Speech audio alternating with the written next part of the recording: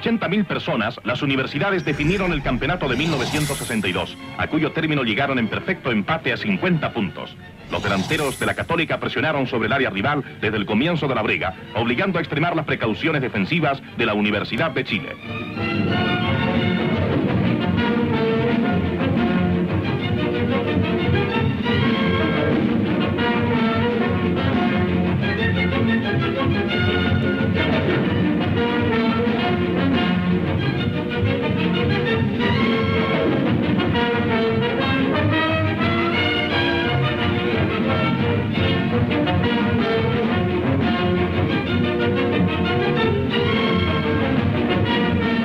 Rechazo de Donoso rebotó en Prieto y Astorga contuvo en gran estirada a los cuatro minutos.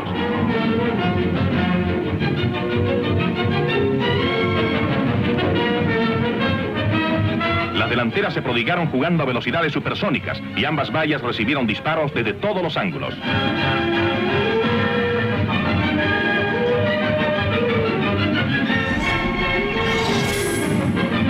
Tiro de Sánchez y Berens en bolsa con seguridad.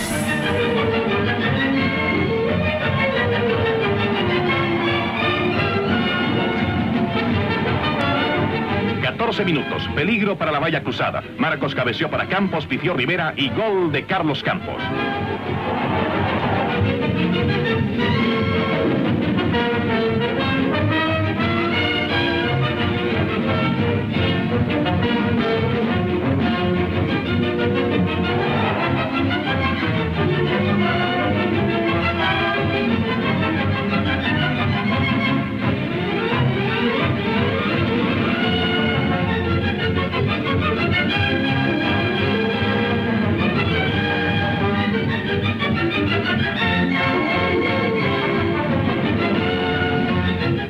Rápido contraataque de la Católica remata Ramírez y Astorga vuela para tapar el ángulo. Casi de inmediato los azules están frente al arco católico.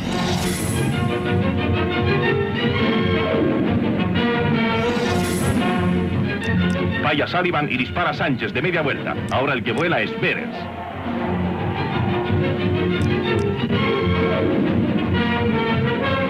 Una nueva arremetida de los delanteros católicos provoca angustia ante los azules. Rivera lanza desde larga distancia. Golpe en el travesaño cuando Astorga estaba vencido.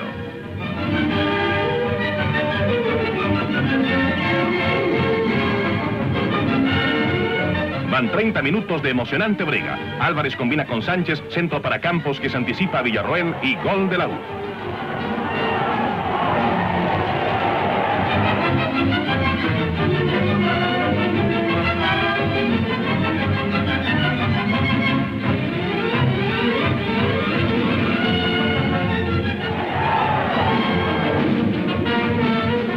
Cena Católica no se entrega y sigue presionando con inusitada frecuencia. A los 40 minutos pierde una magnífica oportunidad de lograr el descuento, elevando la pelota fuera del campo de juego.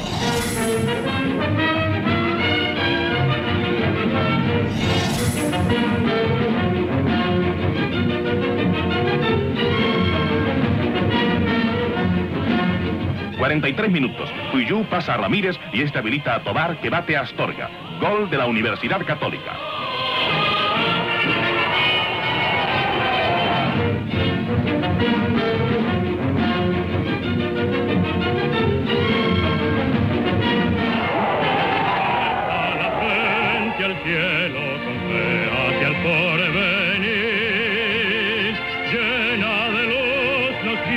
Ahora los cruzados buscan el empate. Corre Tobar, entra al área y es derribado por Navarro. Cruzados caballeros de noble ambición, tenemos como Apenas iniciado el segundo tiempo, la escuadra católica se fue adelante. Pigia de Donoso y Prieto solo frente a Astorga perdió el gol del empate.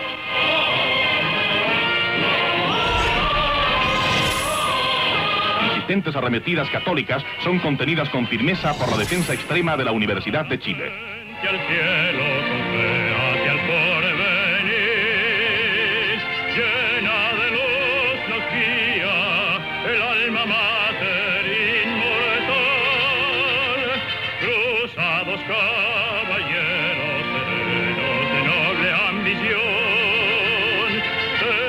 Minutos, magnífico chanfe de Fuyú y gol de la Universidad Católica.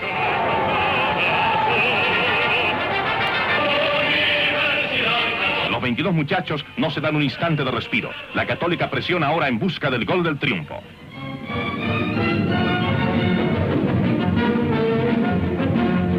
Marcos combina con Álvarez y este se va al ataque, dispara y gol de la Universidad de Chile.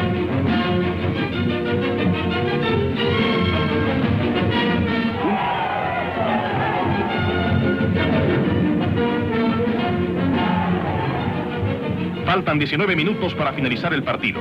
Muso mandó un centro alto que tomó Marcos. Pasó a Álvarez y gol de la Universidad de Chile.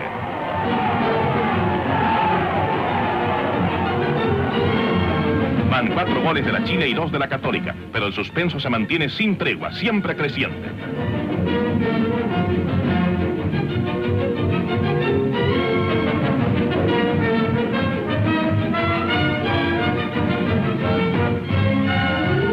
Valdés corre por la derecha, mientras Fuyú entra velozmente por la izquierda. Viene el centro de Valdés y Fuyú empalma entre Izaguirre y Contreras. Gol de la Católica.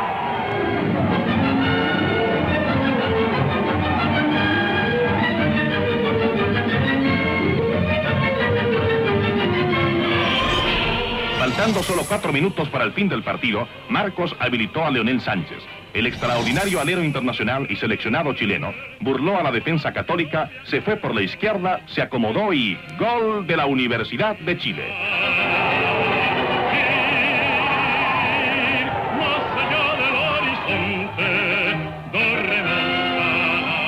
Eran los instantes finales de la definición del campeonato. El partido no tiene parangón en los anales del fútbol chileno por la calidad del juego, la velocidad mantenida en los 90 minutos y la caballerosidad de los contendores.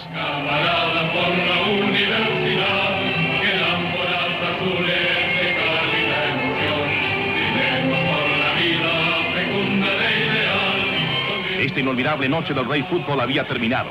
La Universidad de Chile engarzó su tercera estrella de campeón en su escudo. La Universidad Católica cayó con todos los honores, luchando bravamente hasta el pitazo final de Domingo Mazaro. Uyú abrazó a Campos para felicitarlo por el triunfo. Leonel Sánchez enarboló el botín con que marcó el último gol. Muso manifestó su júbilo. Uyú y Contreras cambiaron camisetas y abrazos fraternos. Pacheco abrazó a Luis Álamos, entrenador de la. Mochola, entrenador católico, también abrazó a Muso. Lloró Donoso. Álvarez y Eizaguirre se estrecharon. Y Jorge Pica, presidente de la U, felicitó a Contreras. Hubo alegría legítima en todos los corazones, como si no hubiera vencedores ni vencidos. Los selenitas asistieron sin pagar entradas y fueron saludados por las luminarias del estadio en esta fiesta memorable.